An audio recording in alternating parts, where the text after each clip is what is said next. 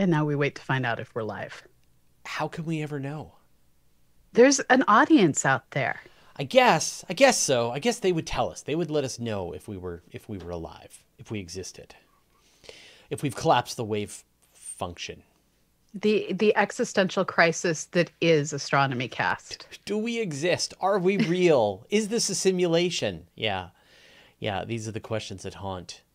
Um, so you remember when we used to watch the COVID tracker? I don't know if you still go watch the COVID tracker and just watch the horrifying number of cases that are going on and growing and growing and growing. Yes. I found the opposite. I found the the the healing to that, which is the vaccine trackers.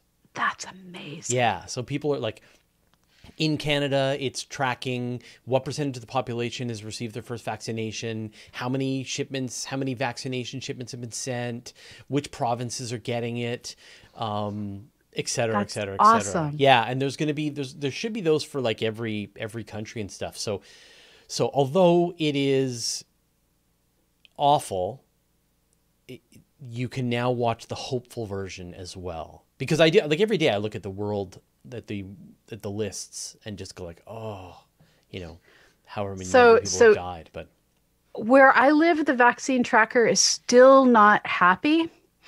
I, according to a story on National Public Radio earlier this week, St. Louis has received less than 1,000 vaccinations, which isn't even enough to vaccinate everyone who works at our teaching yeah, hospital. to vaccinate the vaccinators.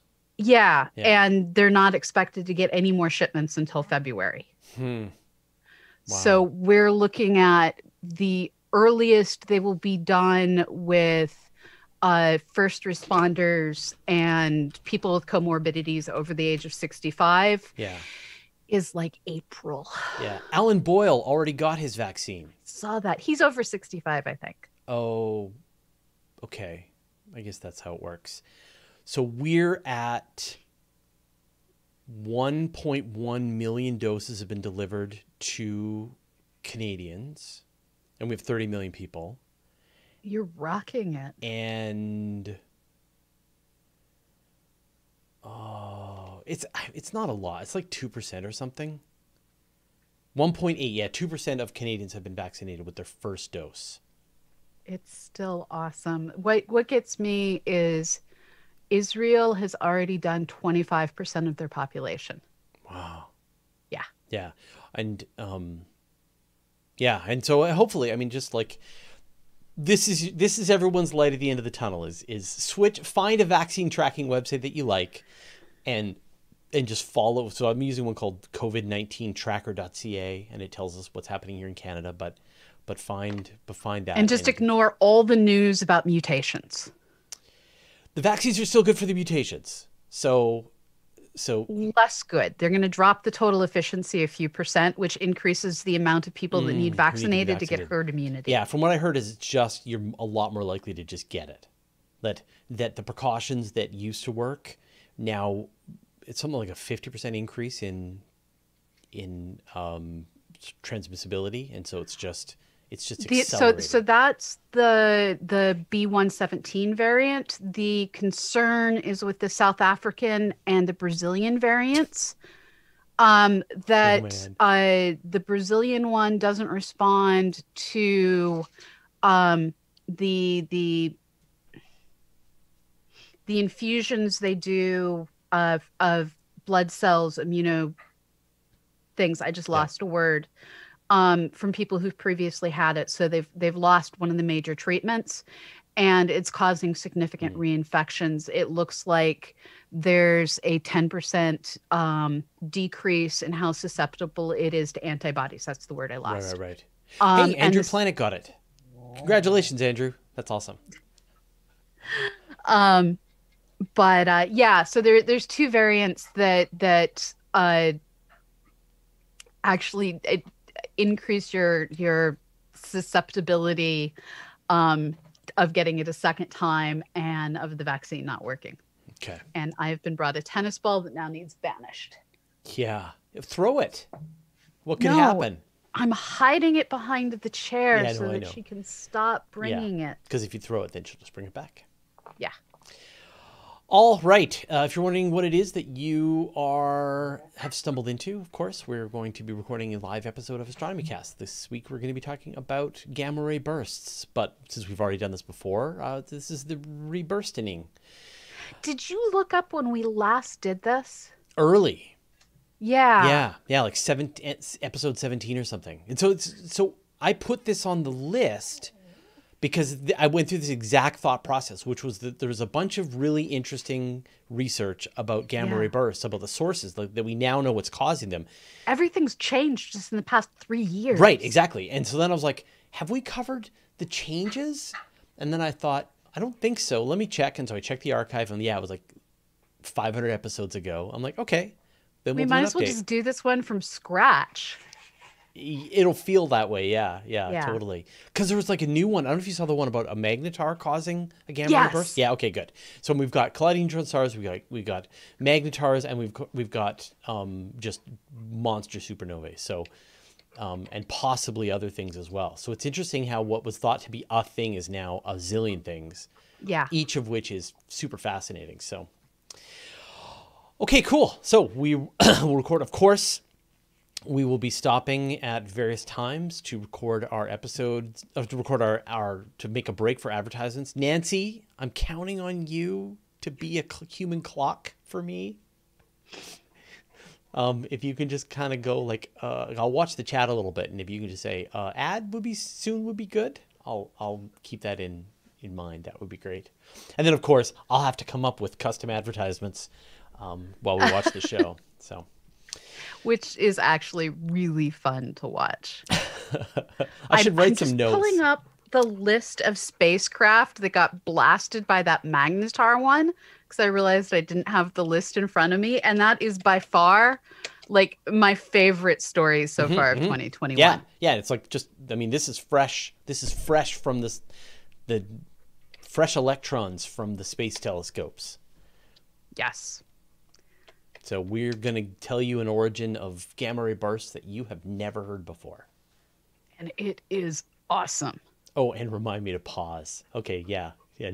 Pause, Fraser. Okay. Still pulling up the reference. And we keep like looking for axions. Like that's not something I thought we were going to be In doing. Betelgeuse. Yeah, well, they didn't find them there, Mhm. but they may have found them associated with neutron stars. Saw that too. Yeah. Have I mentioned how much I appreciate the fact that you're covering news these days? Like Thank you. You're a totally different, a totally different scientist at this point. I wish more people would would balance that because it was interesting. I, was, I did an interview earlier this morning with the guy who's working on ice robots. I don't know if you saw this story. No. Um, building robots out of ice. They've been able to make the wheels, the structure of the robot, completely out of ice. Um, and so you could go to Titan. Just, just he said we figured you know just with a robot arm you could you could build a whole robot That out of ice. is yeah, excellent. a controller and a robot arm. But um, but it was interesting because I like because I'm just so in the news all the time, and I don't mean like in the news. I mean like into the news. Anyway. Yeah. Um. Uh, I just was throwing paper after paper at the guy, and he was like, "Oh my god, this is so cool! I didn't even know about this." Yeah, it was awesome.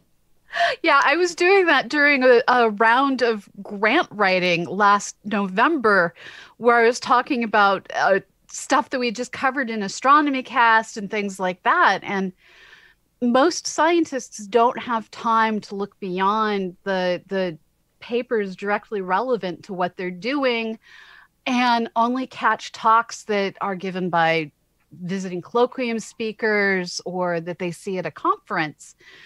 And with what we do, I don't know about you, but I'm reading anywhere from 10 to 20 different summaries and then at least the abstracts of most of those trying to figure out what's worth reading in detail and it just gives us this repository in our brain Yeah, yeah, yeah. There's, I mean, I think there's this idea of like the Google, the, the Google age. Right? Why should you have to learn anything when you can just use Google to act to access and look up anything that you want?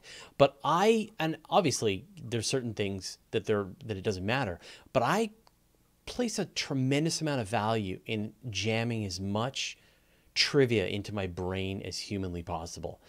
Um, people are still noting to me the fact that the surface of the sun is cooler than the center of the earth.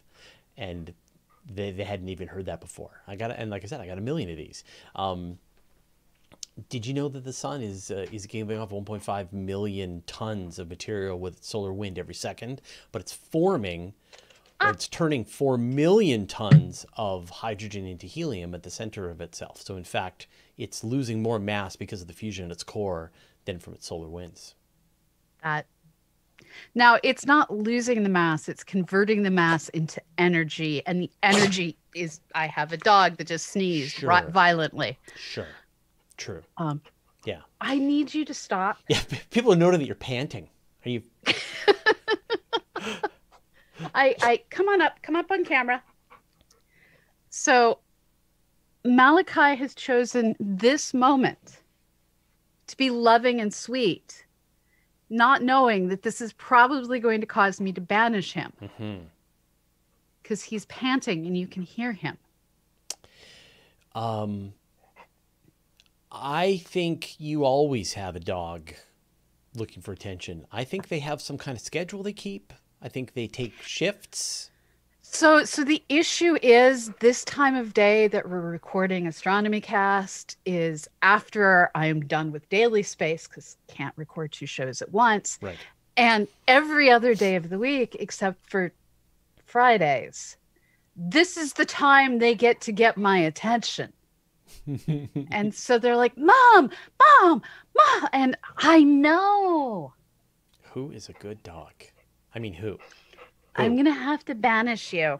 Will we ever find out who the good dog is? The good dog is Malachi, it okay. turns out. Okay. All right. Good.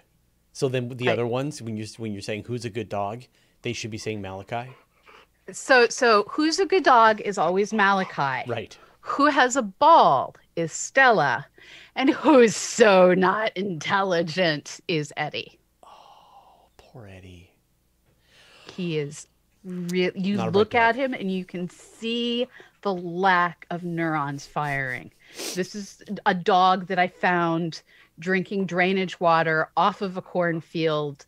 Lord only knows what chemicals the dog ingested. Right. He's not bright. Oh, poor pup. Hey, um, one last little piece of interesting news. Uh, guess whose daughter is taking astronomy at university? Is it your daughter? My daughter, yeah, Chloe. She's taking astronomy, I don't know, 100, 101. Is she finding it very, very simple? Um, I don't know. She's taking really cool notes though. And she, you know, she's one of those like fancy note takers. Well, she's an artist. Let's be fair. Well, she's, I mean, she's more of a writer, but, but, um, uh, but yeah, no. Anyway, so it's so it's funny. So she's super stoked, and so but hopefully I'm going to be able to like show up and do some question, you know, like do some live telescope work with the class and things like that. So yeah, That would be awesome. yeah, super cool. Okay, we should do our jobs. Banish I have- that dog. So there, there's two of them. They just started playing directly under the camera. Yes, they're We going can't away. have this. Come on. Come on. Yeah, I know. You have thoughts. Come on. Uh, people are congratulating. Honestly, I'm a, I'm a little ambivalent. You know, I know how hard it is for people to get careers in the astronomy field. She's gonna be a lawyer. Like, just mark my words. My kid's gonna be a lawyer. Um, not not an astronomer, but she had to fulfill her science requirement, and so that was the one that she took, and she was quite excited. She was like, "Dad, guess what I'm taking?" And so she's been. Um, we've been talking astronomy, which is fun, and she's been like rattling off some interesting facts about about um, stuff she's learning, which is which is funny. So focus. Am I out of focus? Just let your camera sort it out. Done. Okay. Space lawyer. Yeah. Just mentioning, you know, she's taking astronomy, but that's just to fulfill her science requirement. What she's really doing is like mostly criminology. And I think she'll end up being a lawyer. That's that's cool. Mm-hmm. that will that will explain my interactions with her throughout her entire life. Tell her to watch the TV series Alienist if she gets a chance. Yeah, we watched It's- The Alienist. Yeah, we looked at. Yeah, I can see her adoring that. Yeah, yeah. All right. Uh, let me know when it is that you are prepared to record. I Oh, I am pressing on. record. Wait, wait, wait, wait, wait. Hold on, hold on, wait. I moved a window and every window Fine. shut down. Fine. I don't like that. Why? Okay. And while he's setting that up, Okay. remember, folks, we are going out on Houston Channel 21, Now Media, an edited version, not this. Um, so so feel free to like if you know people in Houston, recommend us. Do you want me to go to commercial before I go into the introduction? Or after? Why don't you Like, do do, the introduction and end it with we'll discuss all of this in detail after this break. Okay, sounds good. Okay. Can I press record? Mm-hmm. I have pressed record. It I- is recording. I have Hello, also, Rich. I have also Hello, record. Hello, Richard. Here we go. Astronomy Cast, episode 592, Gamma Ray Bursts, updated. Welcome to Astronomy Cast, our weekly facts based journey through the cosmos, where we help you understand not only what we know, but how we know what we know. I'm Fraser Cain, publisher of Universe Today. With me, as always, is Dr. Pamela Gay, senior scientist for the Planetary Science Institute and the director of CosmoQuest. Hey, Pamela, how you doing? I'm doing well. Our country has moved on into a time where science is constantly being discussed, Yeah. and there is a moon rock, a moon rock in the, pictures. Oval Office That's right so now. cool. Yeah, yeah. It's a cool. It looks big, the, Well, got, it, moon rocks come in many different sizes, and if you're going to show one off, don't show off the dust grains. yeah, show off one of the big ones. Yeah, they brought Yeah. back something like 200 kilograms of rock from the moon from dust, and even like that dust is of high value. But Oh, the yeah. but the but there are a couple of fairly large rocks, and to have a cool moon rock, that's. I mean, you can imagine anyone who comes in and wants to talk about the future of the moon exploration has to stare at that moon rock and go, "Yeah, you want to get more of that? 2024, let's go." Yep. I, it's not going to be 2024. 2024. There's there's no reason why. Actually, good news. I don't know if you were watching the Space Launch System hot fire test and the and the abort that went a minute into it, but it looks like there was no big problem. That they had very tight constraints on it. It their test setup rattled a little out of its parameters and they shut it down. So there's nothing very dangerous and they're going to be able to restart the test within a couple of weeks probably. Well, and so they've decided they're going to do another green test. They haven't said. I'm sure they, they have to.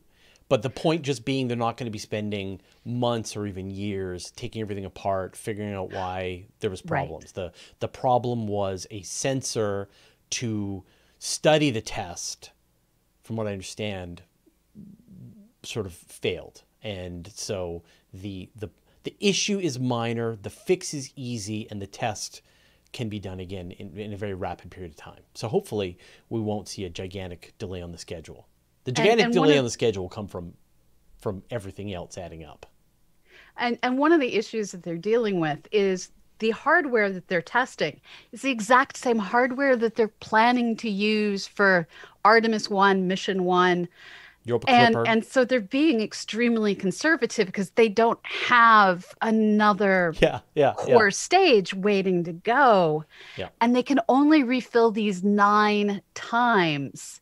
They're not reusable. And each time they fill them to run a test, that super cold liquid, it does damage. Yeah.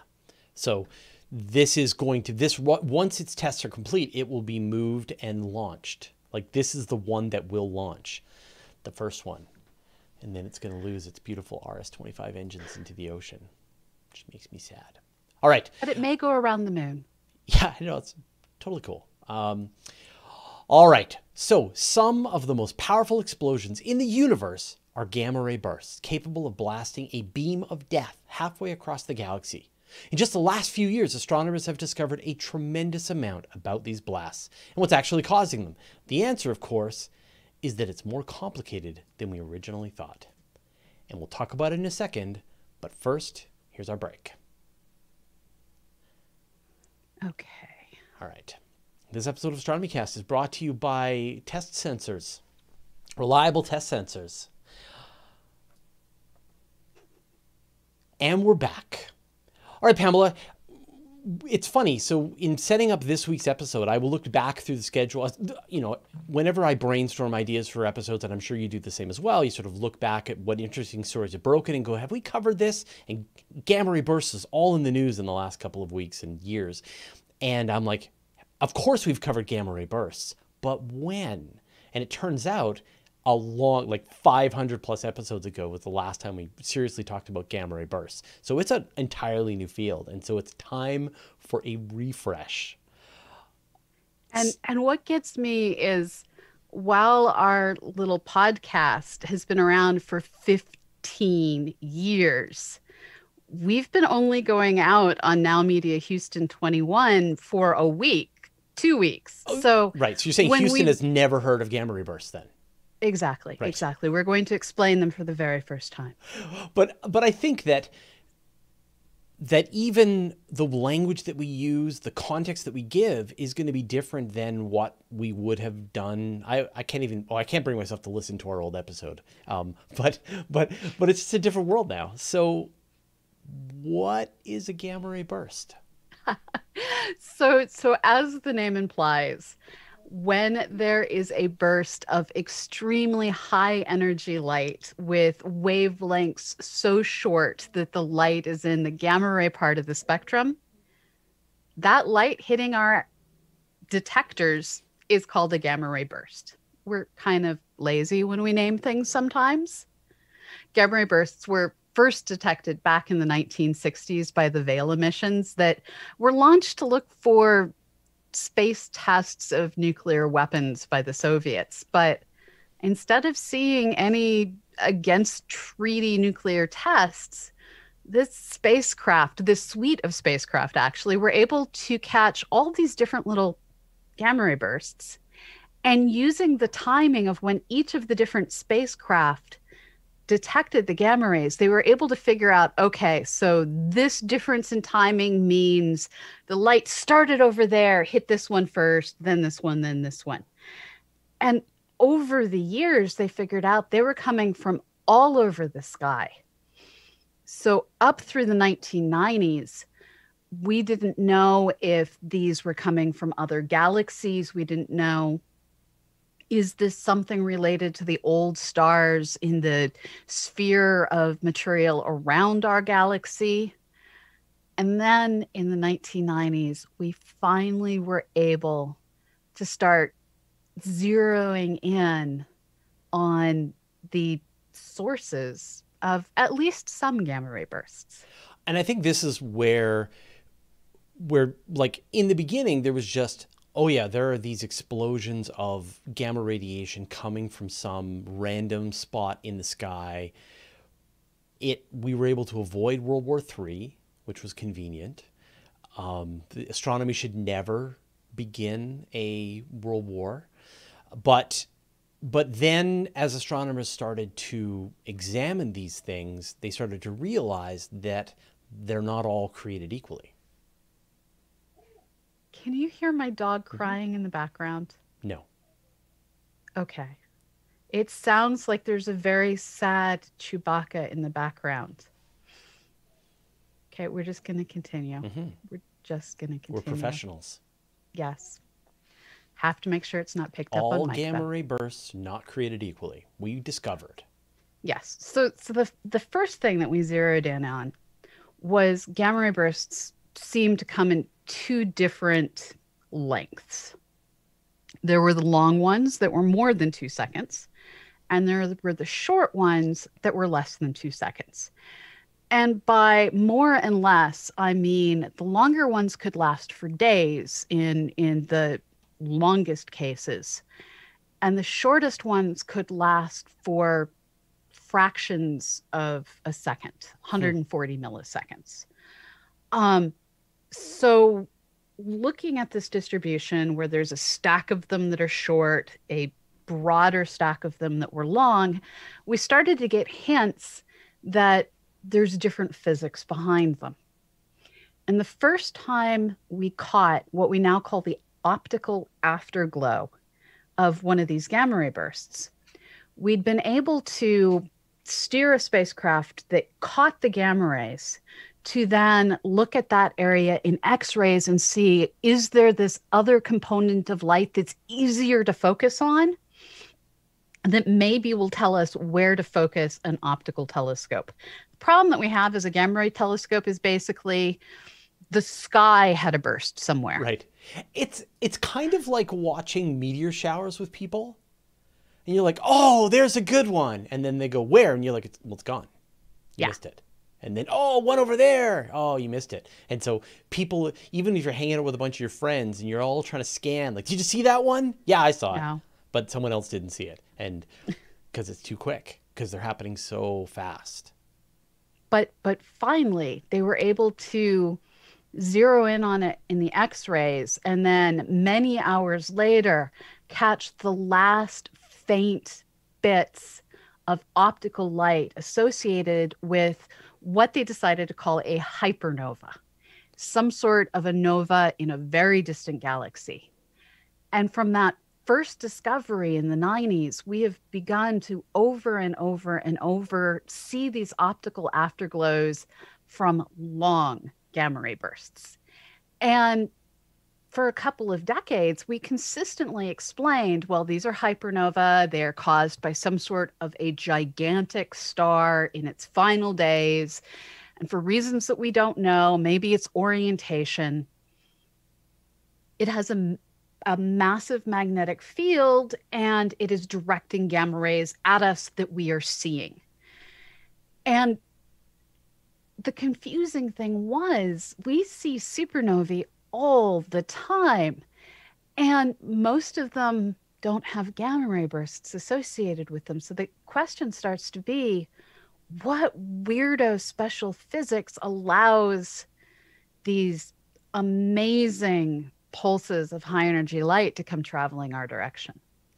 Well, we'll talk about weirdo special physics in a second, but first we've got a commercial break. And we're back. So what I mean, I guess people are familiar with the term supernova and and I think people are probably familiar with that term hypernova.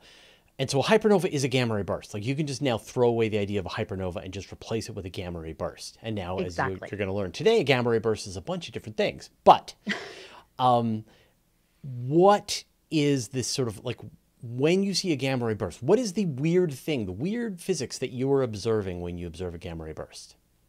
Well, what we now know is that for long and only for long only gamma ray bursts, yeah, you have two previously massive stars that are in orbit around each other.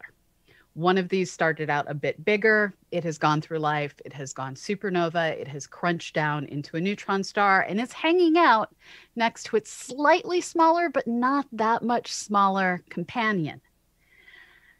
And when that still massive, but not as massive companion goes supernova in its own right, trying to form its own neutron star, it explosively sheds its outer atmosphere. And this outer atmosphere goes and it hits that OG neutron star. And it gets consumed in the process. And neutron stars have massive magnetic fields. And this is going to come up later again today.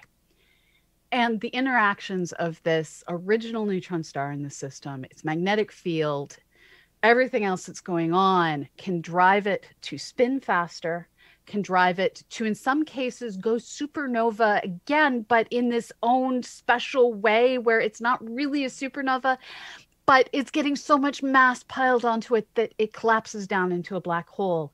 And all the physics of that older original neutron star, that's the source of the gamma ray bursts. Wow.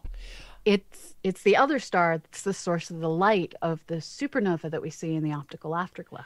And and so uh, and so like we know that when a regular when a massive star star with many times the mass of our own sun goes off as a supernova its remnant that leaves behind. Like if it's not super big then it's left with this neutron star and it starts out spinning very rapidly and we call that a pulsar and then it slows down and slows down and eventually is less pulsary.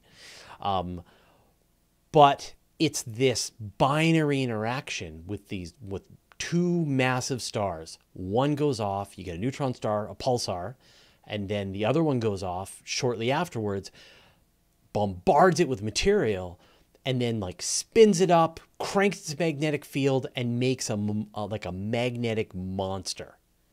And you get, and, and so you say the supernova is coming from the star that goes off, but the gamma rays are coming from the magnetar they they well we we don't even know if it started as a magnetar. It was just a neutron star. Right right.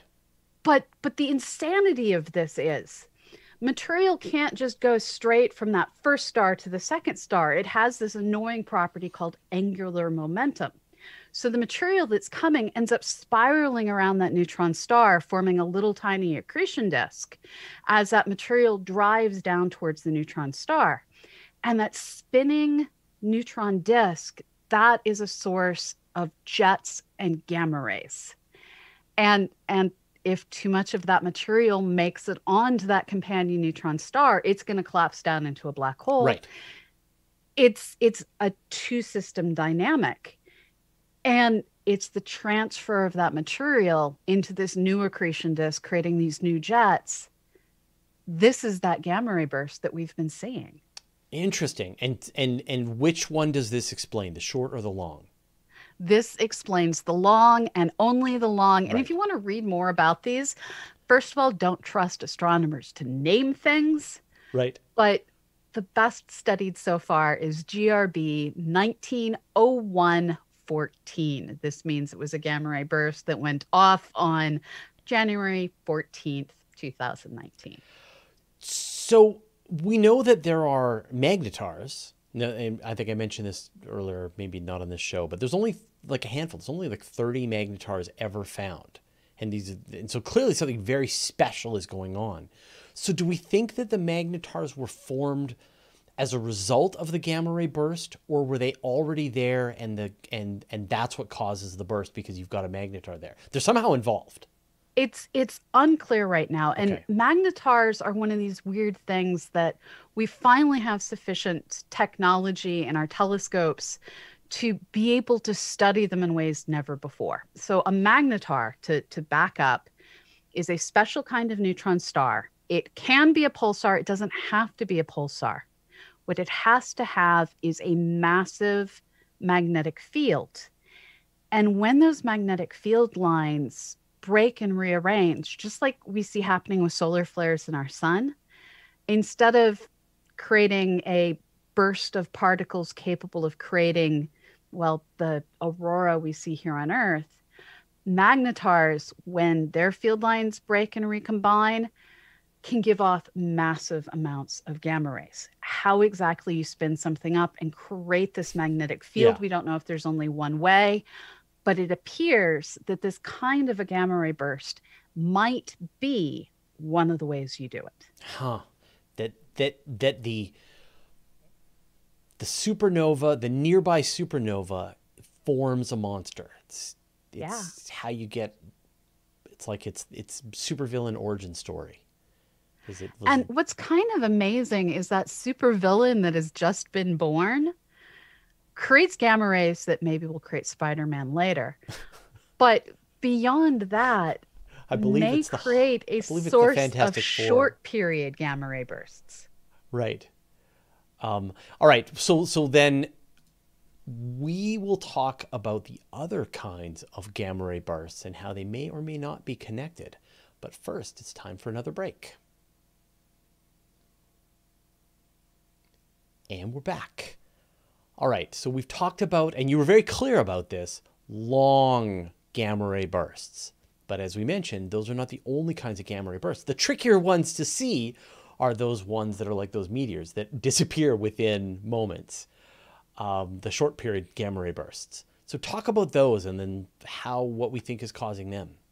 So, so there appears to be two kinds of short period uh, gamma ray bursts. Uh, the the easy to understand one, if easy is a word that can even be used in this conversation, is the kind that occurs when two neutron stars. So maybe the future of one of these systems we just discussed, when these two no- neutron stars are orbiting next to each other.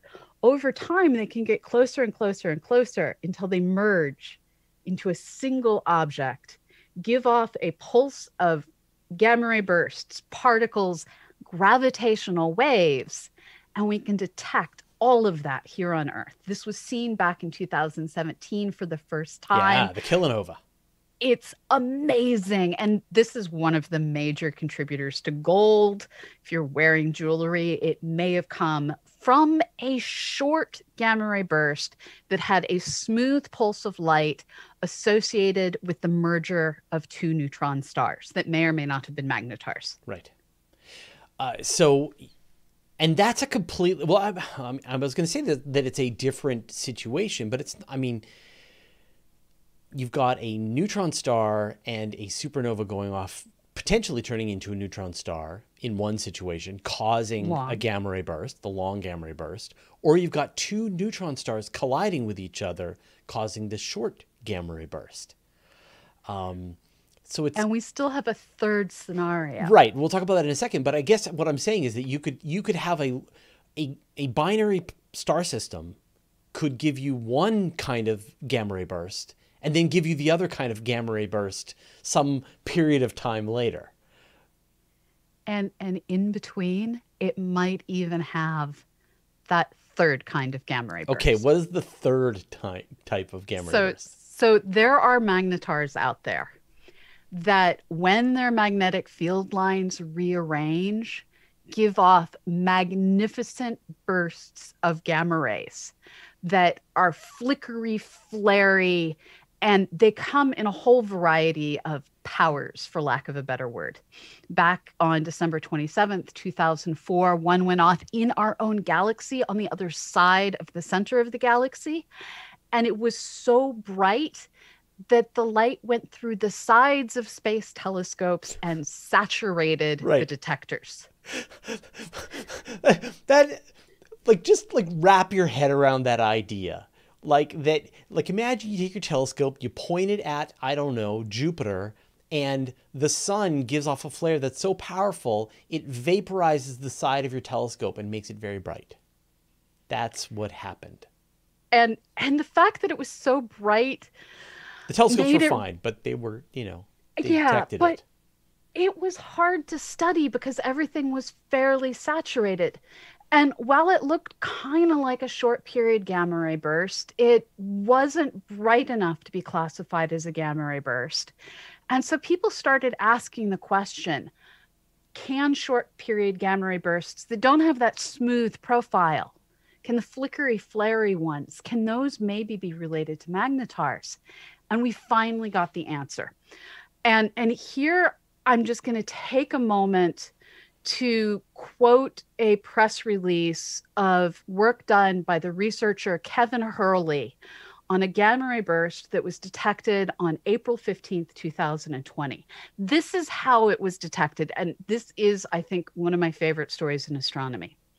Shortly before 4:42 a.m. Eastern Daylight Time on that Wednesday, a brief powerful burst of X-rays and gamma rays swept past Mars, triggering the Russian high-energy neutron detector aboard NASA's Mars Odyssey spacecraft. Mars Odyssey. Right. Which has been orbiting the planet since 2001. About 6.6 minutes later, the burst triggered the Russian Konus instrument aboard NASA's WIND satellite, which orbits a point between Earth and the Sun, located about 930,000 miles, 1.5 million kilometers away.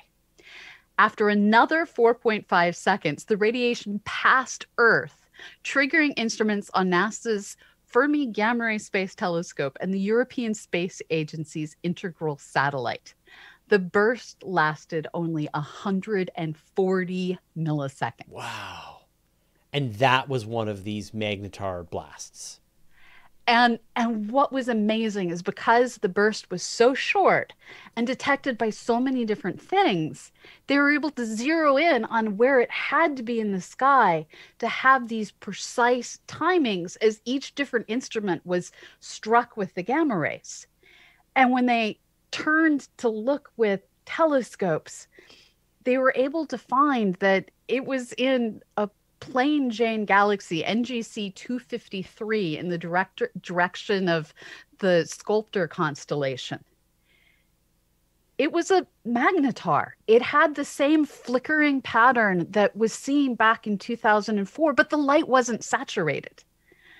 And so that distant object gave off light in the exact same way. Mm, but they could observe it.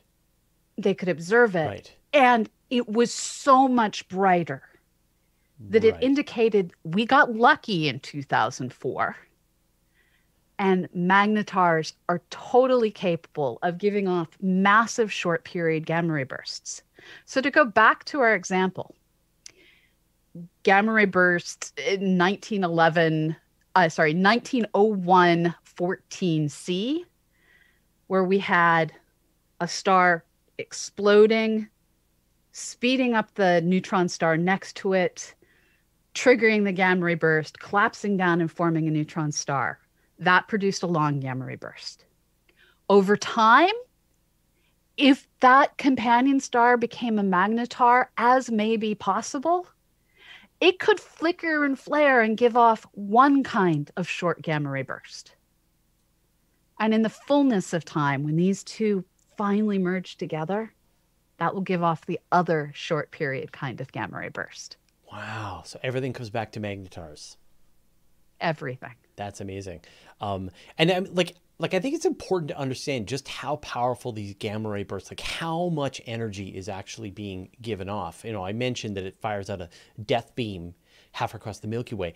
How how close can you be to a gamma ray burst and it's starting to cause you a problem? If you had one within a few thousand light years of Earth pointed at us, it could ionize the side of our atmosphere it struck, which would be bad for everyone on the planet. So, so a gamma ray burst going off within, eh, say, a few thousand light years, which is an tr- enormous distance in space, is like an, Pointed at us. is an extinction level event for a good portion of life on Earth. And Yeah. even one that is like halfway across the Milky Way will will wreck our ozone layer and cause significant damage. It's it's a mind-bending quantity of of of energy. and and there are some hints that we might have had one of these extinction level events in the past, but that's for a different show. Yeah, yeah. Well, yeah, your favorite topic, extinction level events. Thanks, Pamela. That was amazing. Uh, I love the update. It's it's you know, for I've mentioned this for so many of the mysteries that that we look at dark matter, dark energy. You know, I'm still having arguments with people about you know whether dark matter is even a thing, um, and I believe yes. They believe no. But but the point being, we may know that it's a thing, but we don't know what thing it is, what's causing it. And yet here's something like like gamma ray burst that we've watched from over the course of 50 years to go from here's something interesting to oh, it's a lot more complicated than we thought, and here's the explanation. That's beautiful. That's science. I love it. And it's awesome. Yeah, totally. All right. Thank you, Pamela. Do you have some names for us this week? I, I do. So, as always, we are supported entirely through donations. And um, if you want to become one of the people that allows us to do this show and pay our editors a fair wage and to make sure that we have transcripts and show notes and all this added material, well, go to patreon.com slash astronomycast and join our community.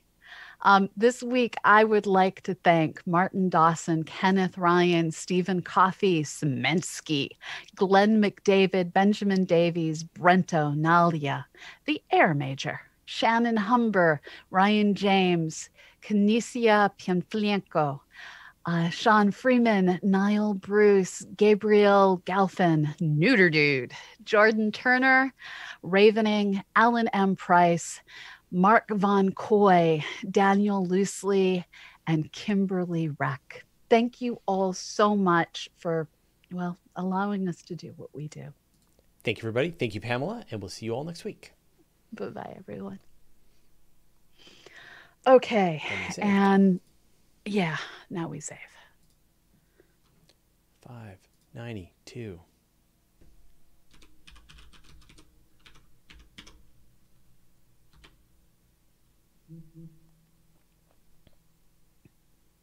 I'm now totally paranoid about making sure I save things in the correct folder after sending way too many episodes to the Daily Space folder. Uh, I turned off the notifications on my calendar and it's still. Hmm. I'm trying a new system. Actually, I, uh-huh. I've been doing this for a while, but I, I really like it. It's this idea of time block time block planning. Yeah. Yeah. So so I now have my day planned into like 15 minute increments for the whole day. And I uh, try and do the same thing. Yeah, yeah, because otherwise it's just you're running around like a chicken with your head cut off. And and I had a bunch of standard things that I do every day at standard times, and mm-hmm. and so I'm, but I sort of fall in and out of it. So I'm like, you know, normally I follow a routine, but anyway, so the point being, I've I've got all these blocks in my calendar, and my calendar has been like going bleep bloop uh, to tell me to do something. Yeah, Gordon saying there weren't any alerts during the episode. There wouldn't even be alerts because I wouldn't be recording it on the. It wouldn't be heard by my microphone for the episode. But for those of you watching, you hear whatever my computer says. So, so I have to say one of the major reasons I do time blocking is if I don't do time blocking, I end up um, spending too long on things and letting perfection become mm-hmm. the enemy of good. Yeah.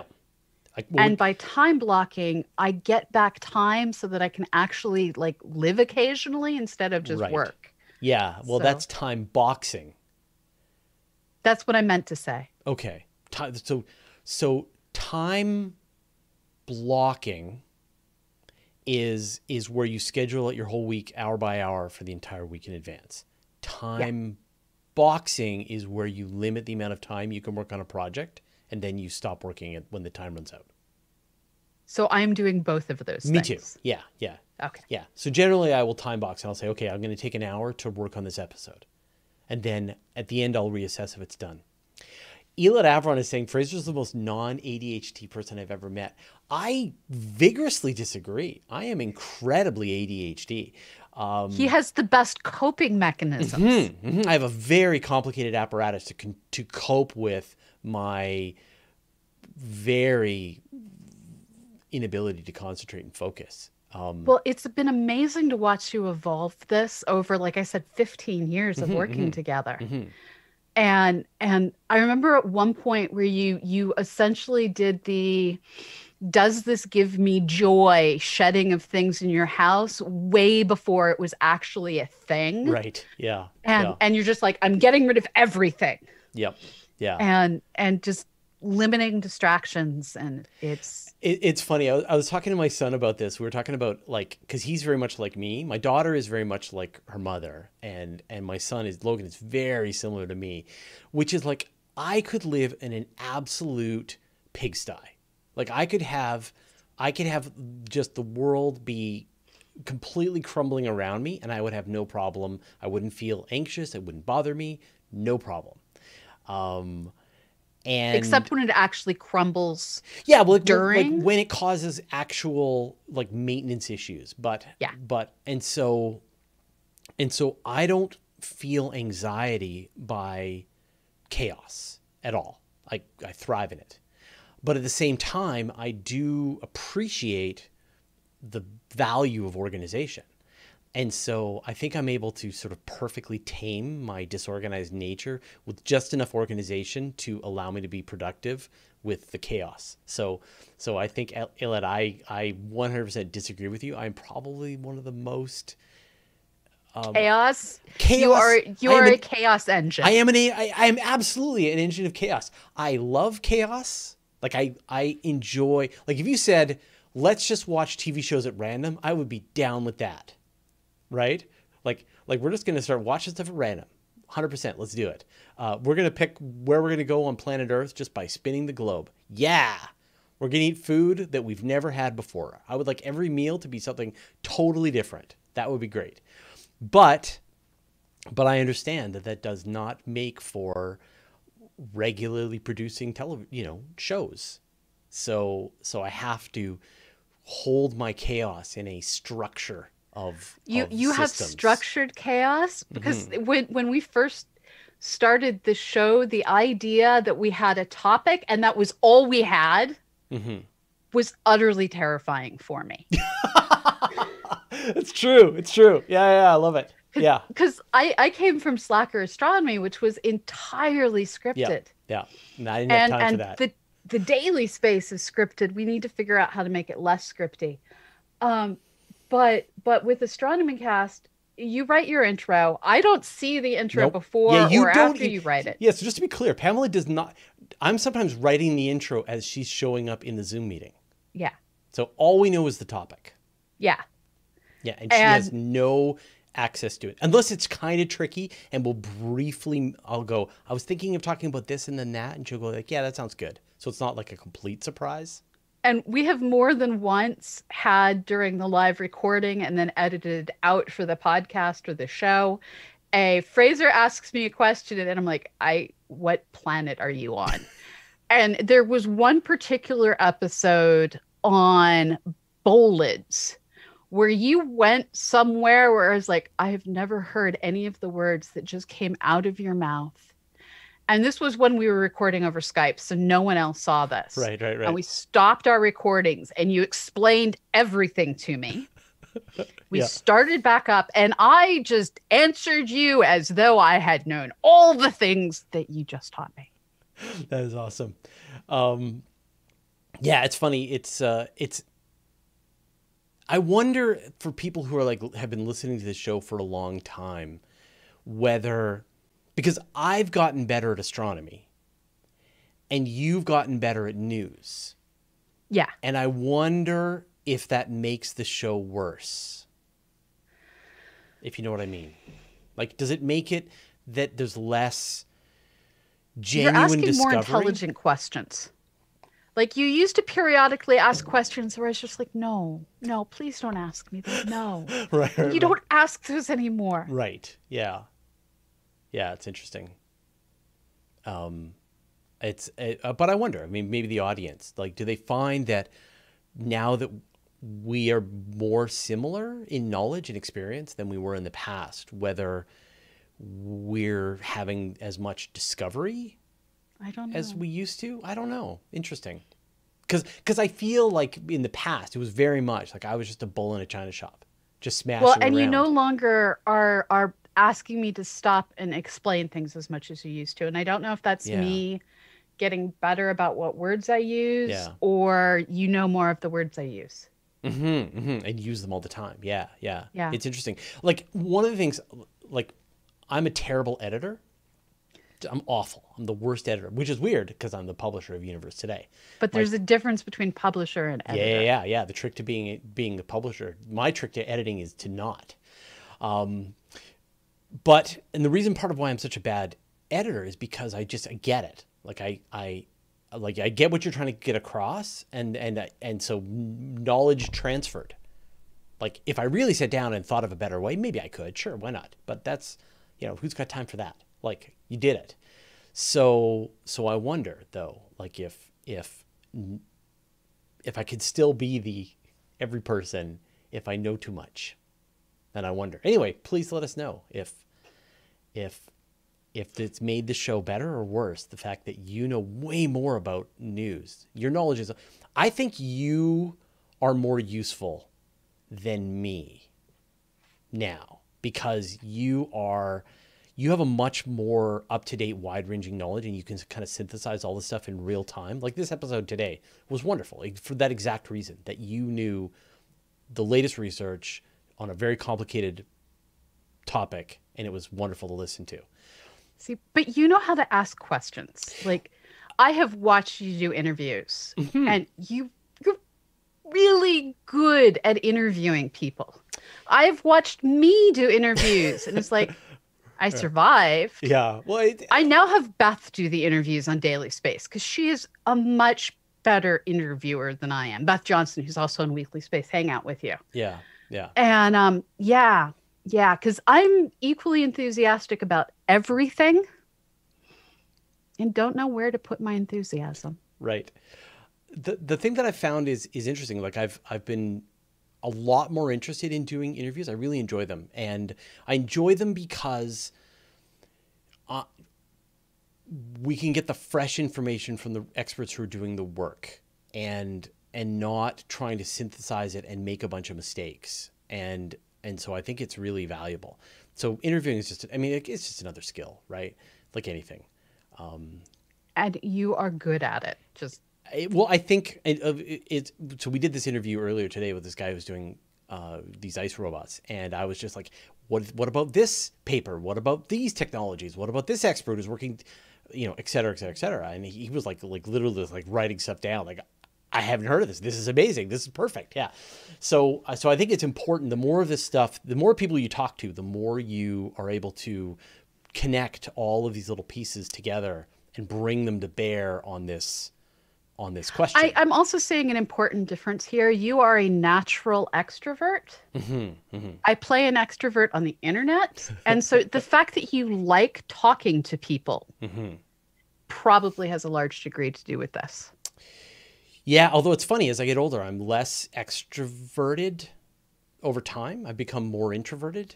Um, like uh, I'm definitely like I remember as like a teenager, like 19, 20, all I could think about was calling all my friends to you wanted to hang out.